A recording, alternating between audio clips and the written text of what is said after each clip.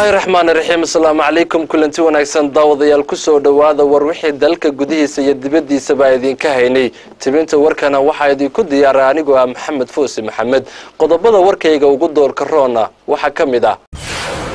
Madaxweynaha jamhuuriyadda somalilan mudane axmed maxamed maxamuud siilaanyo ayaa si ballaadhan loogu soo dhoweeyey garoonka diyaaradaha ee booli international airbood ee dalkaasi etoobiya wasiirka wasaaradda diinta iyo awqaafta jamhuuriyadda somalilan ayaa kormeerka sanadlaha ee sanad walba bisha barakaysan ee rabadaan uu ku soo maro wasaaradaha iyo hay'adaha dowladda.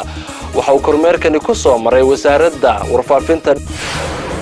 Wasiirka wasaaradda caafimaadka somalilan ayaa ka qayb galay munaasabad qalab caafimaad lagu wareejinayay cisbitaalka guud ee boorama daawadayaal kuwaas waa qodobada warkayga ugu doorka roonaa haddana ku soo dhowaada warkiyo fidsan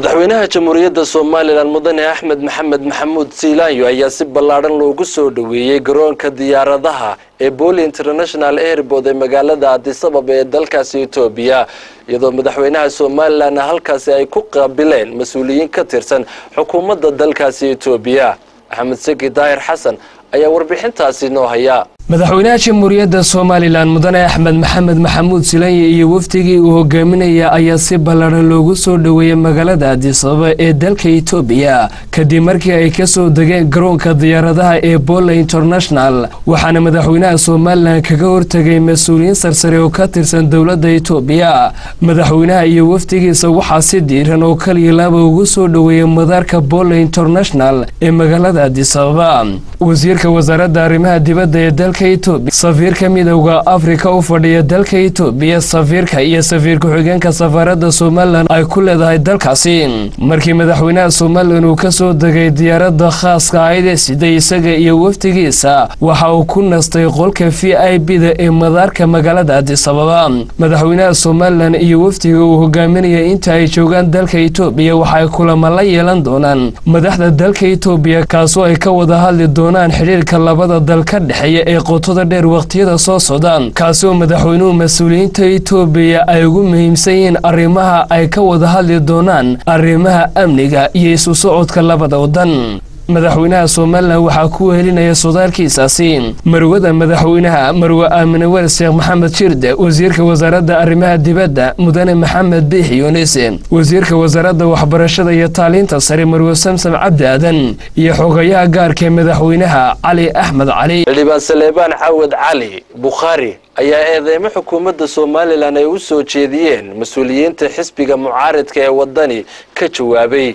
waa kan wariyey cabdiraxmaan muuse oo warbixintaasi isagu inoo haya. Xildhibaan bukhaari oo warbaahinta dalka kula hadlayay maanta barxadda hore ee golaha wakiilada somalilan ayaa sheegay hadalkaasi ka soo yeedhay xisbiga wadani inuu yahay mid meelka dhac ah oo aan ku habboonayn mas'uul sare oo dalka ka taliya. Xildhibaan bukhaari isagoo hadalkiisa sii wataa jawaabna ka bixinaya arrimahaasi waxa uu ka waramay waxqabadkii u qabsoomay xukuumadda somalilan ee uu garwadeenka ka yahay madaxweynaha somalilan maalmaha soconayey in xisbiga waddani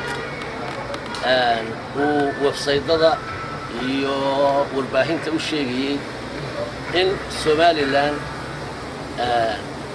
madaxweynaheedu iyo cid dalka u talisa aanay la garanaynin. Guddoomiyaha waddanina uu yidhi baarid kastoo aanu samayno waxaa noo xaq noqotay inaan cid dalka u talisa aan la garanayn. Waxaan rumaysannahay inuu yahay hadalkaasi hadal meelka dhaca aan ku habboonayn mas'uul sare oo mas'uuliyadda intale dalka ka haya.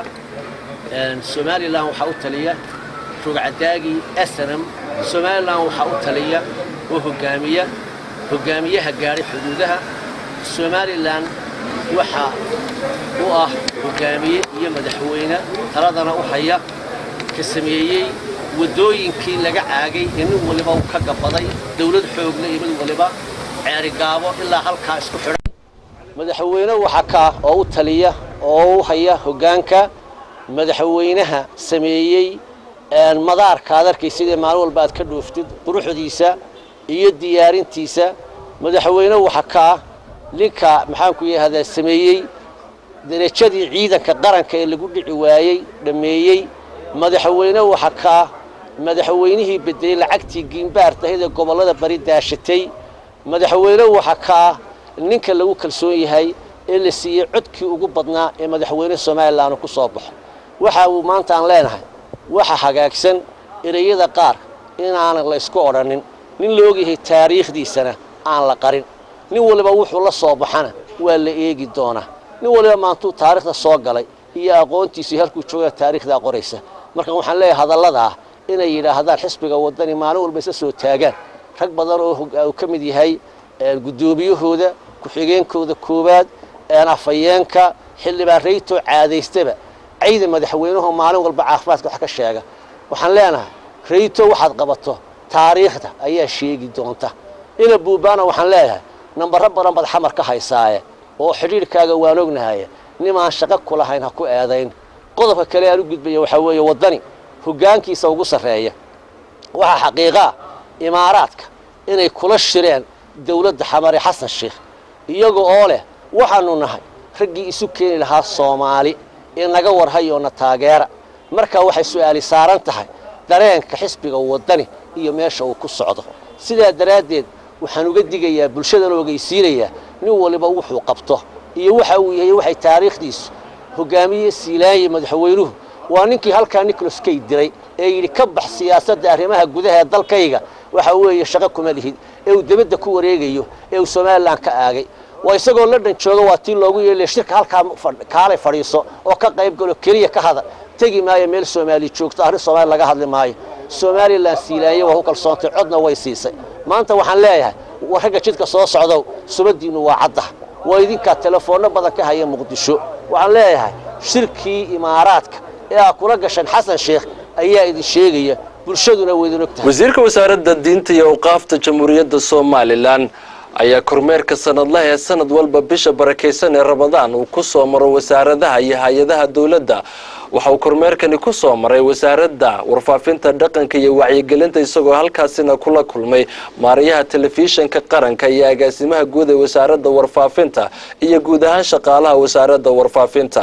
Khadar quule ayaa warkaasi isagoo inoo akhrin doonaa. Kulankani ballaadhan oy wasaaradda diinta iyo awqaafta jamhuuriyadda somalilan sannadkii mar ku marto wasaaradaha dalka ayaa waxa ay maanta wasaaradda diinta iyo awqaafta ku soo kormeertay wasaaradda warfaafinta dhaqanka iyo wacyigelinta jamhuuriyadda somalilan waxaana kulankaasi sanadlaha ay wasaaradda diinta iyo awqaafta ku marto xarumaha dowladda. Hogaaminayay wasiirka wasaaradda diinta iyo awqaafta jamhuuriyadda somalilan sheekh khaliil cabdilaahi axmed. Waxaana ka soo qayb galay mas'uuliyiin kala duwan oo ka tirsan wasaaradda warfaafinta ugu horeeyo agaasimaha guud ee wasaaradda warfaafinta dhaqanka iyo wacyigelinta jamhuuriyadda somalilan maxamed cilmi aadan ilka case maarayaha guud ee telefishin qaranka jamhuuriyadda somalilan khadar xasan cali gaas agaasimaha idaacadda rediyo hargeysa siciid aadan cige iyo agaasimo waaxeedyada wasaaradda iyadoo ay goobtaasina ka muuqdeen dhammaan shaqaale weynaha wasaaradda warfaafinta dhaqanka iyo wacyigelinta jamhuuriyadda somalilan oo kulankaasi ka soo qayb galay. Kulankani salladnaha ee wasaaradda diinta iyo awqaaftu qabato ayaa waxaa ugu horeyn halkaasi ka hadlay maareeyaha guud ee telefishin qaranka somalilan oo halkaasi ka sheegay in ay xidhiidh wanaagsan ka dhexeeyo wasaaradda diinta iyo awqaafta jamhuuriyadda somalilan iyo wasaaradda warfaafinta dhaqanka iyo wacyigelinta jamhuuriyadda somalilan shaqaale weynaha wasaaraddana kula dardaarmay in ay hadallada wasiirka wasaaradda diinta iyo awqaafta jamhuuriyadda somalilan ku dabaqaan shaqadooda. Maareeyo oo arrimahaasi ka hadlaya ayaa waxauu yidhi kulankani waa kulankeenii caadiga ahaa ee sanadkiiba mar ay wasaaradda diinta iyo aqaaftu ku mari jirtay qaar ka mid a hay'adaha dowladda. Waxaan uga mahad celinaynaa dadaalka ay ugu jiraan wasaaraddu kobcinta iyo karuqaadidda qowlka ilaahay iyo faridda waxyaabaha diinteenu ina fartay iyo kareebidda waxyaabaha ay diinteenu inaga reebtay. Ilaahay kheyr ha ka siiyo wasaaradda uu hormood u yahay wasiirka sheekh khaliil waxaanu leenahay ilahay kheyr iyo xasanaad ka siiyo. Intaa kadib waxaa inaga dhexaysa wasaaradda diintii awqaafta iyo wasaaradda warfaafinta wada shaqeyn daily basis oo joogto ah maadaama ay idaacaddii qur'aanka kariimka ay taalo ay ka tirsan tahay wasaaraddeena iyo weliba inagoo u qaabilsan wadankeena qeybta wacyigelinta. Wasiirka wasaaradda diinta iyo awqaafta jamhuuriyadda somalilan sheekh khaliil cabdilaahi axmed oo kulankaasi ka hadlay ayaa ugu horeyn aada ugu mahadnaqay mas'uuliyiinta kala duwan ee wasaaradda warfaafinta dhaqanka iyo wacyigelinta jamhuuriyadda somalilan. Waxaanu halkaasi ka soo jeediyey hadallo waano iyo dhiirigelin iskugu jira. Waxaa walaaleel socodkayganu ama maarata booqashada wasaaradda maha mid igu cusub. Waa midaynu markasta isugu nimaadno oo aynu ka watashano arrimaha la xidhiidha waxyaala wasaaraddu u igman tahay korqaadida diinta iyo horumarinta diinta oo runtii aan dareemi karayno inaad tihiin yani gacanteeda midig aad tihiin. Waxaad tihiin meesha keliya iyo muxuu ahaye daaqadda ugu habboon ee aan ku gaarsiinayno dadka muslimiinta reer somalilan ama caalam ku dhaqan ee afkeenana ku hadla amaba carabiba ku hadla waayo tvga carabiga ingiriisiba wuu leeyahy iyo idaacaduba luqadaha ku baxdo iyo luqadeena wanaagsan ee soomaaliyeed ee aynu ku hadlayno inaynu ku gaarsiino dadkeena wanaagga diinteena iyo sharafta diinteena iyo waxyaalaha u baahan yihiin diinta loogu saxayo. Runtaana waan idinka mahad celinaya waxaan la ilaahay idinka abaaliyo subxaana wa tacaala. Walaalayaal sida caadadu ahayd ee aan ku mari jiray wasaarada qaarkood oo ugu muhiimsan tahay wasaaradda madaxtooyada sidoo kale talisada ciidamada kala duwan hadday tagtay qalabka sita ama maxaan ku biliiska ama maxaan ku rahda ciidanka asluubta oo runtii caadi ahaan anugu aan ku maro wasaaradaha inta kalena ay maraan shaqaalaha wasaaraddu ay maraan. Oo bisha ramadaan ay noo noqotay bil aanu caadaysanay. Ilaahayna subxaana waafajiyey inaan ku dhex marno wasaaradaha dowladda iyo hay'adaha kala duwan dowladda. Aan ku wacyigelino bisha ramadaan khayrkeeda barakadeeda horumarta diinteenna. Waxaa runtii maanta aan ku soo talagalay inaan arrimaha ugu muhiimsan ka shaqaysaan oo ah war la qaado oo dadka la gaadhsiiyo khayrkiisa iyo sharkiisaba hadduu khayr yahay maxaa faa'iida ka helaysaan hadduu shar yahay maxaa dhibaata inoogu sugan? Walaalayaal qofka kelmaddu waa communicationka wax dadka udhexeeya xiriirka dadka udhexeeya la isku afgarto. Barnaamijyada islaamiga barnaamijyada maxad qur'aanka tafsiirka su'aalaha diiniga iyo axaadiista kala duwan iyadoo xoog u waday ayaa haddana maanta waxaan si wanaag ilaahay idinku guuleeyey dhammaantiinba nakaba iyo madaxda qaranka gaar ahaan madaxweynaha somaliland mudane axmed maxamed maxamed aadan oo runtii ku dadaalay in idaacadda qur'aan karimka inoo hirgasho. Laakiin lowlaa antum haddii raggiinas aanu jirin may socoteen mana shaqayseen. Yargeed la midka ah ee madaxda. Ah waayo waxaanu ku dadaalayna waxa weye qowlka alleh inaynu gaarsiino dadkeena oo fahamsiino.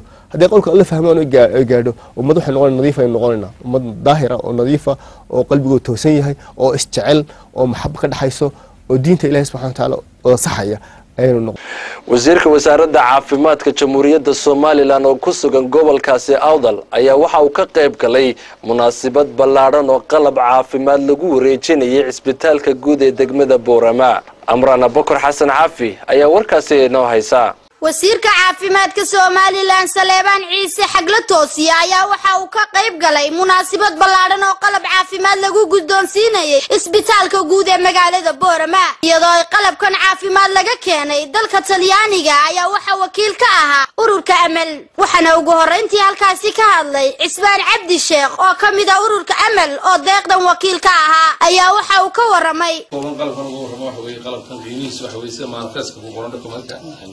iyo laba iyo konton kun oo euro weeye si wanaagna waxa weeye bishii september waxaa imanaya medical engineerskii ku tababarayay ee qalabka rakibaya waa imanaya.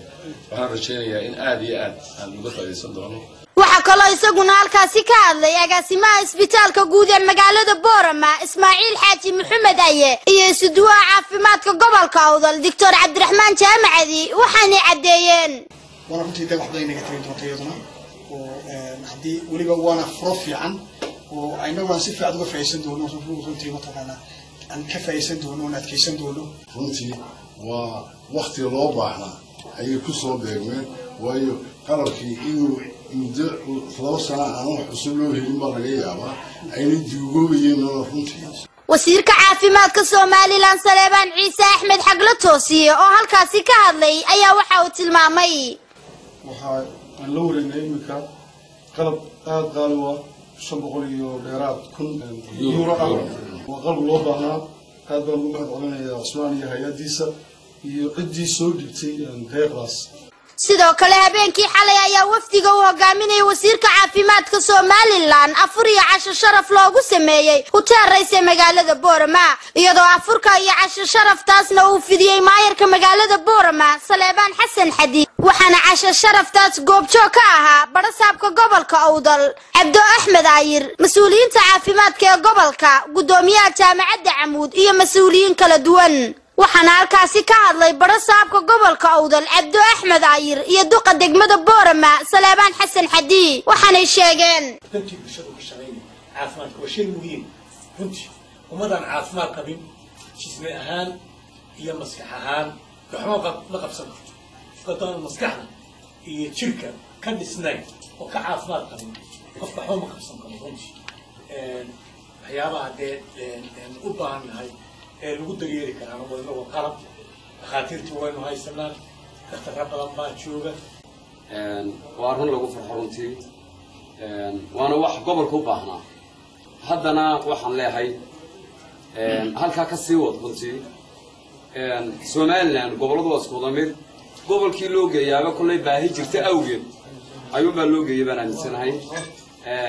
Wixii la geeyey qalaba si kastaba haatee qalabkan caafimaad ee la soo gaadhsiiyey isbitaalka guud ee magaalada boorama ayaa waxa uu noqonayaa qalabkani mid wax badan ka tari doona baahiyaha caafimaadka. Waxaana xusid mudan in halkaasi shahaado sharaf lagu guddoonsiiyey. Wasiirka caafimaadka somalilan isuduwaha wasaaradda caafimaadka gobolka owdal iyo injineer cismaan cabdi sheekh oo ka mida ururka amal. Amran caafi tv-ga qaranka gudoomiyaha gobolka badhan ayaa xilkii u kala wareejiyey maayarkii hore ee degmada laasqorey iyo maayarka cusub. Waa ka ridwaan caydiid oo warbixintaasi isagoo inoo eegi doona. Munaasabada lagu qabtay xarunta gobolka badhan oo xilka loogu kala wareejinayey maayarkii hore magaalada laasqoray iyo maayarka cusub ee dhowaan xilka loo magacaabay ayay ka soo qayb galeen maamulka heer gobol iyo heer degmo ee gobolka badhan madax dhaqameed culimo awdiin aqoon-yahan iyo welibana taliska ciidamada kala duwan ee gobolkaas iyo marti sharaf kale. Maayirka magaalada badhan cabdile maxamed faatax ayaa ka waramay doorka faca weyn ee maayirada magaalooyinku ay kaga jiraan horumarka degmooyinka dalka islamarkaana maayirkii hore laasqoray ku ammaanay dadaalkiisa iyo waxqabadkiisa. Runtii guddoomiyihii hore ee degmada laasqoray wax badan buu soo qabtay shaqooyin badan buu qabtay marka kan dambena waxaan ku waaninaynaa aan leenahay insha allah meeshii uu guddoomiyihii hore geeyey inuu ka sii ambaqaado ka sii isuduwaha wasaaradda qoyska iyo arrimaha bulshada ee gobolka badhan marwo shacni dable ayaa iftiimisay waxqabadka muuqda ee uu maayirkii hore ka tegey iyo sida muggale ee uu shacabka ula shaqayn jiray. Madax dhaqameed iyo odayaasha deegaanka badhan ayaa si isku mida u soo dhoweeyey xilka cusub ee loo dhiibay. Maayirka cusub ee degmada laasqoray islamar ahaantaana uga marakacay waxqabadkii hore ee maayirka laasqoray uu qabtay muddadii uu xilka hayay aqoon-yahan iyo waxgarad munaasabada ka hadlay oo deegaanka badhan ayaa shaaciyey in waxqabadka iyo waxwadaqabsiga bulshada iyo xukuumaddu ay ku timaado horumarka adeegyada bulshadu islamarkaana uu gobolkani ku faanayo maayirkii hore ee degmada laasqore ee xilka wareejinayey maxamed axmed cashare ayaa ka warbixiyey waxyaabihii u qabsoomay muddadii uu xilka maayirnimo ee degmada laasqorey hayay. Bulshada laasqorayna uga mahadnaqay sida muggale ee ula shaqeeyeen iyo waxyaabihii uu qabsoomay ee shacbigu qayb weyn ka lahaayeen. Waxa weeye xilku waa meerto qaayarka cusubna waxaan ka codsanayaa meeshii aan soo joojiyey. Inuu ka sii qaado oo degmadu ay dowladdana waa hambalyeynayna dowladdana waa hambalyeynayna dowladda waxaanu leenahay waxqabad loo baahan yahay. Annagu qoladayadii hore joognay dee intii aan qoran karna qabtaayo. Cabdiraxmaan sacuudi maayirka cusub ee degmada laasqoray ee xilkan la wareegayay ayaa sharaxay qorshaha uu ku howlgeli doono siduu halkaa uga sii wado horumarka iyo shaqada degmada laasqoray ka socota isagoo bulshada deegaankana ka codsaday inay la shaqeeyaan si uu uga madhadhaliyo hadafkooda ah in degmadu horumar badan ay ka samayso adeegyada bulshada waan u mahad celinayaa waan ku mahadsan waan ka guddoomiyey waxaan ballan qaadaya waxaan ballan qaadaya badhasaabka gobolka badhan cabdixakiin wahaabi oo xilka u kala wareejiyey labadan maayir ee degmada laasqoray kii hore iyo kan cusub ee xilka la wareegayo ayaa sheegay sunnaha dowladnimo yahay in qofba mar xilka loo dhiibo oo loo igmado si bulshadu ay uga mid noqoto hogaanka dalka. Maayirkii hore laasqorayna ku ammaanay waxqabadka iyo dadaalka badan ee uu muujiyey muddadii uu xilka hayay halka maayirka cusubna uu badhasaabku u rajeeyey inuu alle u fudaydiyo xilka miisaanka culus leh ee loo igmaday.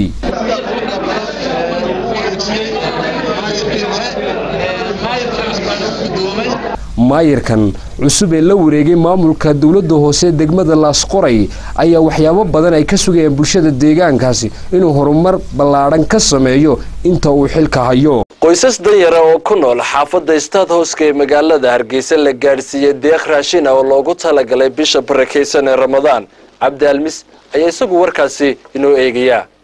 Iyadoo weli lagu guda jiro qaybinta raashinka loogu talagalay dadka danyarta ee ku dhaqan magaalada hargeysa ayaa maanta waxaa deeq raashina la gaadhsiiyey afar boqol iyo shan iyo konton qoys oo danyar oo ku dhaqan xaafadda state howska hay'adda gargaarka islaamiga ee somalilan oo deeqdan taakuladaas u gaadhsiinaysa bulshadan ayaa waxaa qaybintii raashinkan ka hadlay cismaan maxamed cismaan oo ah maamulka iyo iskudubiridaha howlaha ee hay'adda islaamiga ee gargaarka somalilan waxaana uu sheegay in barnaamijkan ay ugu tala galeen dad tiradoodu ay gaadhayso laba kun saddex boqol iyo toban qoys ilaa haddana ay gaadhsiiyeen dad gaadhaya ilaa sagaal boqol oo qoys islamarkaana ay weli u qorshaysan tahay inay dad kale oo intan ka badan gaadhsiiyaan. Waxa uu sheegay in barnaamijkani uu socon doono ilaa muddada laga dhammaystiraya tiradan dadkana tiradoodu ay gaadhaysaa afarta boqol iyo shan iyo kontonka qoys ee ku dhaqan xaafadda state howska ee magaalada hargeysa ayaa uga mahadnaqay dadka muxsiniinta ee taakulada deeqdan soo gaadhsiiyey taasoo dadka la siinayay nafaqo dhammaystiran oo isugu jirta.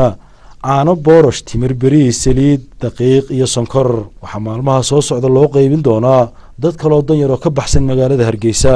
Waa cabdi almis telefishinka qaranka somalilan hargeysa xildhibaan ka tirsan golaha deegaanka burco ayaa deeq buugaaga ku wareejiyey ururka wax akhriska ee halkaraan.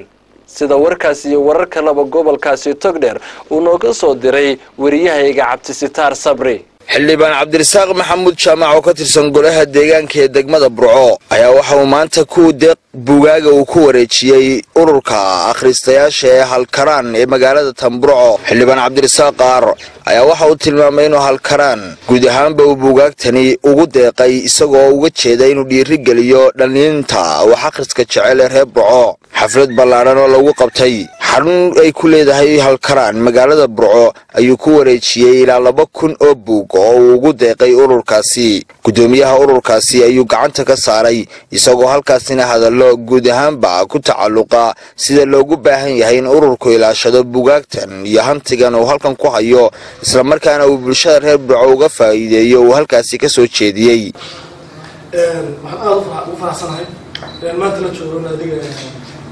halkaraan oo sida runtii ah naadiga keliya ama bahda keliya ee gobolka u qaabaysan akhriska iyo qoraalka buugtan aan ku wareejinaya maanta naadiga ama librariga burco cadadkeeda tirada sheegay mustafa sheegay.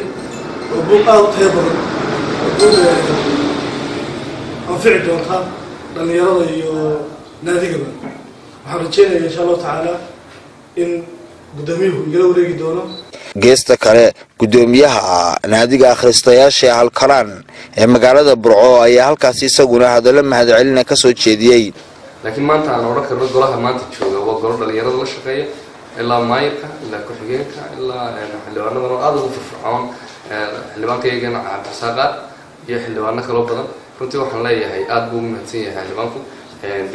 Bugaagta uu soo gaarsiiyey maamulaha madaarka burco cabdirasaaq oo isaguna munaasabadan goobjoogka ah iyo saraakiil kale ayaa waxa ay tilmaameen in wax lagu farxo ay tahay in reer burco maanta ay haystaan naadiga halkaraan oo dhiiri gelinaya wax akhriska naadigan halkaraan ayaa waxaa la aasaasay muddo haatan laga joogo ilaa shan sano ilaa wakhtigaasna maalinba tallaabuu soo qaadayay isagoo xilligan maraya halkii ugu fiicnayd.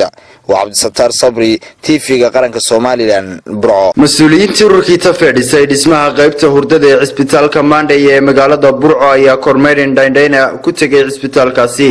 Kormeerkan ay ugu kuurgelayeen habsami socodka howlaha cisbitaalka iyo sida uu shaqeeyo ayaa waxaa si weyn uga soo dhoweeyey maamulka cisbitaalka kuwaasi uga warbixiyey sida xilligan u shaqeeya cisbitaalku waxaana ay qolqol u booqdeen bukaanjiifka ku jira cisbitaalka oo ay ka xog waraysteen xaaladooda caafimaad. Maamulaha cisbitaalka iyo agaasimaha cisbitaalkan maandhay ayaa waxaa hadalladoodii ka mid ahaa. Xafiiska maamulka waxaa noo joogaa taf qayb ka mida oo ku jiro yaasiin iyo abakor cariish. Marka runtii waa nimankii asaasay ururka taf. Marka laga hadlayo london ururka taf wuxuu ahaa ururkii suurageliyey in la dhiso inbeshinka cisbitaalkan maandhaye runtii waxaanu leenahay aada iyo aad bay u dadaaleen nimankaasu. Taf ka sameeyey ingiriiska sababtoo ah waxay sameeyeen waxyaalo badan oo ah muhiim. Cisbitaalka maandhaye saan horeyda ku soo sheegay ma caawisa hay'ad kale. Waxa weeyaan waxaa caawisay un maxay qurbajooga taf ama markii hore waday iyo imanka oo maandhaye ay norway wado wasaaradda caafimaadka oo iyaduna qayb laxaadla ka geysatay oo wixii yar la isu gaargaarsiinayay kuma filla. Waxaan markaas u sheegayaa maxay ahayd amaan ka codsanayaa qurbajoogta in aanay meeshii ay bilaabeen aanay sidaas ku iloobin anay is odhanin maxay ahayd meeshii way soconaysaa oo dawadinkaa bilaabay oo taas way socotaa maandha wuu socdaa maandhaya maalin walba uu baahan yahay. Gudoomiyihii ururkii tafeedhisay dhismaha bukaanjiifka yaasiin jees ayaa aada u ammaanay. Maamulka gacanta ku haya xilligan cisbitaalka maandheeye isagoona fariin u diray qurbajoogta gobolka togdher inay kaalmo ballaadhan u fidiyaan maandheeye cisbitaalkii aanu dhisnay oo aan maanta joogno umanaanan iman daar khaliya oo maxaa laya cidlo ah waxaan nimi. Cisbitaalkiio sidii qorsho u ahaa maxaa la yidhahdaa u shaqaynaya oo socda ariskan uga faaidaysanaya dhammaan qurbajoogta reer somalilan. Meel kastoo ay joogaan cisbitaalkan oo ah cisbitaalka keliya ee noociisa ee ku yaalla somalilanba in ay gacan naf iyo maalba ay ka geystaan oo kii aqoon lahaana uu aqoontiisa kaga soo qayb galo oo uu u contribute gareeyo kii dhaqaale iyo lacag kaga qayb geli karaana uu cisbitaalkan maaragtay uu wax ku soo taro. Cabsaaq farax cabdilaahi telefishinka qaranka jamhuuriyadda somalilan burco waxaa guud ahaanba habeenkii xalay soo gabagaboobay tartanka koobka adduunka oo lagu ciyaarayay dalkaasi brazil ee sanadkani laba kun iyo afar iyo toban iyadoo kulanka kama dambaysta ee finalkana ay fooda isku dareen labada dal ee jarmalka iyo dalkaasi argentiin iyadoo wadanka jarmalkuna hal iyo eber uu ku guulaystay ayaa guud ahaanba telefishinka qaranka somalilan waxa uu guud ahaanba uu gudbinayay ciyaarahaasi koobka adduunka